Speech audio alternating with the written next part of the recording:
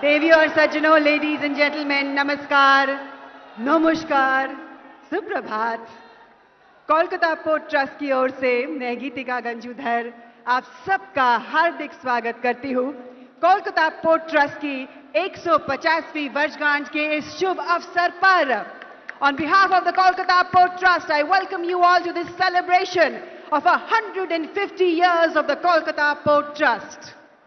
आज इस अवसर पर हमारे साथ उपस्थित हैं भारत के प्रभावशाली, वैभवशाली, लोकप्रिय, माननीय प्रधानमंत्री श्री नरेंद्र मोदी जी।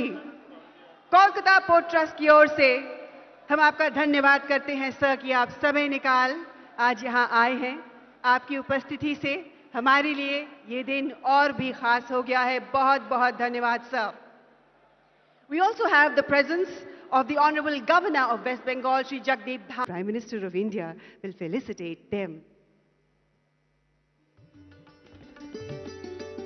मंच पे अब हमारे साथ श्री नगीना भगत जी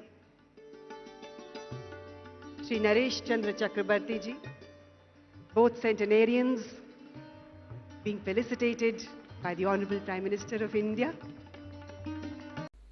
வணக்கம் சவுத் இந்தியன் கிரைம் பாயிண்ட் வழங்கும் ஹாட் நியூஸ் நூற்றி ஐந்து வயதுடைய மூதாட்டியின் பாதங்களை தொட்டு வங்கிய பிரதம மோடி. கொல்கத்தா துறைமுகத்தின் நூற்றி ஐம்பதாவது ஆண்டு விழாவில் நூற்றி ஐந்து வயது ஓய்வூதியதாரரின் பாதங்களை பிரதமர் மோடி தொட்டு வணங்கிய சம்பவம் மிகுந்த நிகழ்ச்சியை ஏற்படுத்தியுள்ளது.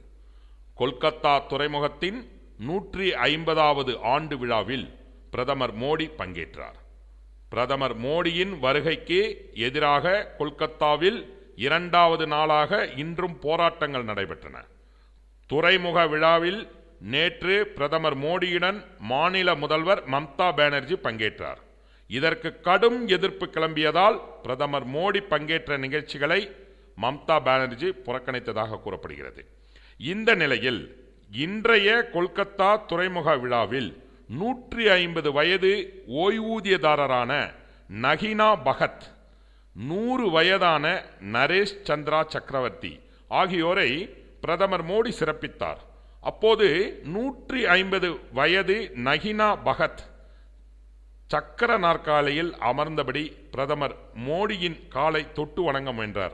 ஆனால் அவரை தடுத்த பிரதமர் மோடி நகினா பகத்தின் பாதங்களை தொட்டு வணங்கினார். மோடியின் பிரதமர் மோடியின் இந்த செயல் அனைவரையும் நிகழ வைத்துள்ளது. இந்த வீடியோ காட்சிகளை தான் கண்டுவிட்டிருக்கிறீர்கள். வணக்கம்.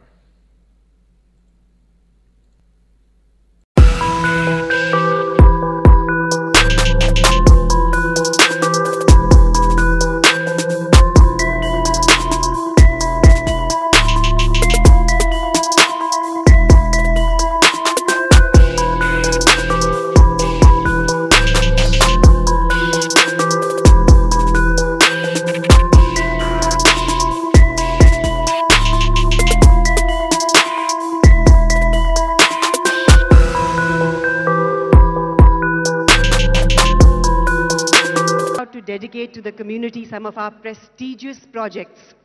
Now, some of these projects are our achievements as a journey of industry, and some are for the welfare of the underprivileged in society. We will now witness the inauguration of upgraded ship repair facility of CKSRU at Netaji Subhash Dry Dock, the inauguration of full rake handling facility and dedication of upgraded railway infrastructure of Kolkata dock system.